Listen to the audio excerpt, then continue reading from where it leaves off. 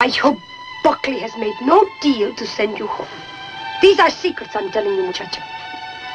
I'll tell you one. I despise my own people if they made such a deal. I do not think so. Besides, I do not wish you dead.